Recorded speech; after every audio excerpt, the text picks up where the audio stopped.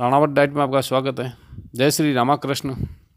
आज आपको लैंगिक शिथिलता के कारण जो नामर्दानगी आती है, उसके बारे में जो एक तेल बनाया जाता है, उस तेल की आज जानकारी दूँगा, जिससे वो तेल सरलता से बनाया जा सकता है और उस तेल से फिर जो मालिश करते हैं तो उसके अंदर जो खोई हुई जवानी होती है, खोई हुई जो नपुसंगता होती है, लैंगिक दुर्बलता के कारण, वह आराम से वापस प्राप्त की जा सकती है।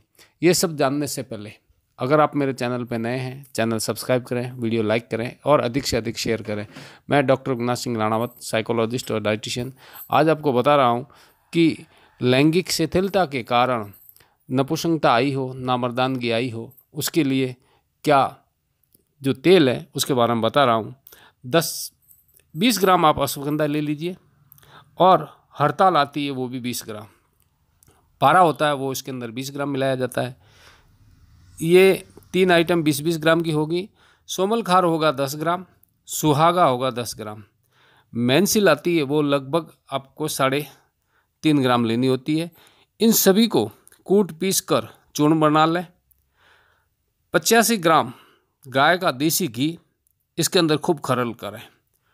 और जब ये एक बहुत खरल हो जाए और जब एक ही जाए ये सब मिल के इसके अंदर अच्छी मिलान हो जाए तो इस ग्रत को आप फिर लिंग पर सुपारी भाग को छोड़कर, हल्के हाथ से या जो लिंग का अग्रभाग है, उसको छोड़कर आप धीरे धीरे इसको मालिश करें, जिससे इस तेल से लिंग में उत्तेजना आएगी और वो नामर्दानगी दूर होगी, जिसमें ये मालिश करने से काफ़ी लोगों को आराम आ जाता है।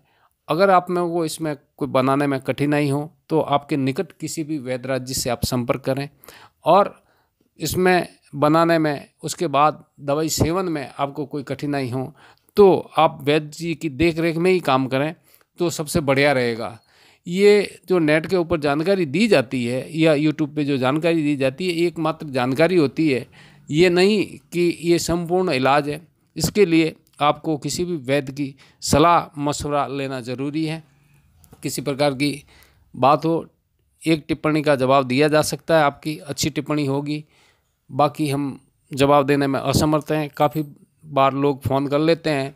तो फ़ोन करने का मैं निरंतर ये ध्यान नहीं रहता उनको कि मैंने बत्तीस बार फ़ोन कर लिया, पर उन्हें ये ध्यान होना चाहिए कि हमारे हाथ में काम है, हम फ्री नहीं बैठे हैं। कुछ लोग फ्री में फ़ोन के ऊपर सलाह मांगते हैं, देना असंभव है।